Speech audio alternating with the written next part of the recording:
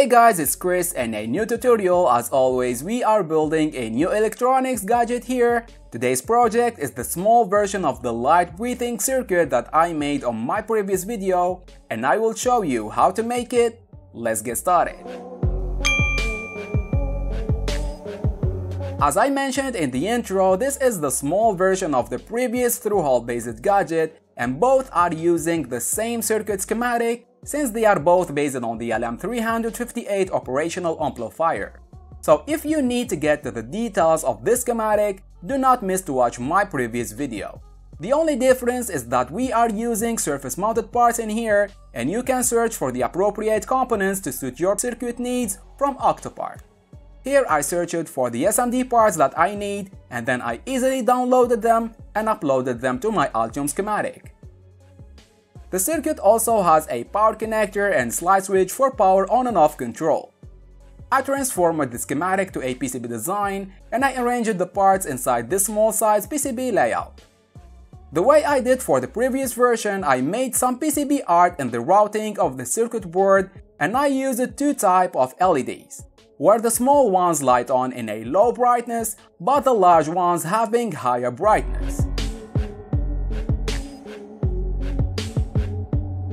I then generated the Gerber files related to my circuit design and moved it to JLC PCB where I uploaded those design files to place my order.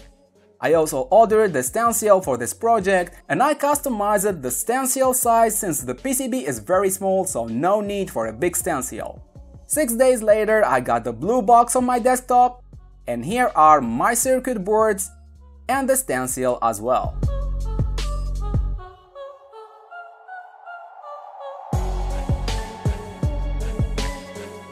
After getting the board ready, now it's time for assemble.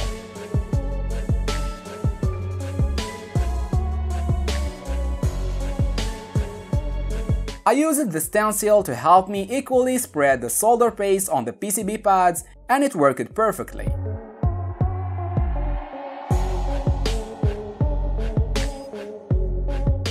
Then I placed the parts each one to its placement on the board.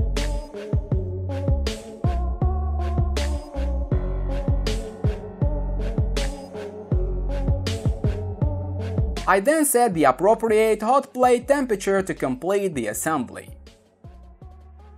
Here is a closer look to the assembled components and you can see the residue of the flux that we must remove using some flux removal solvent.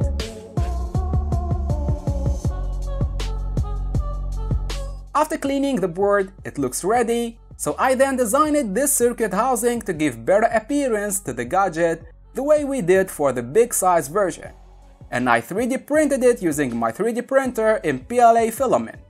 Those 3mm threaded inserts are good solution to screw the board to the housing, but a well-sized housing will not need screw to put the circuit board in it. After completing the gadget assembly, it is ready to take the 12 volt power from this power connector and as soon as I power on the circuit, the LEDs light up in a breathing rhythm that could be controlled from this small potentiometer.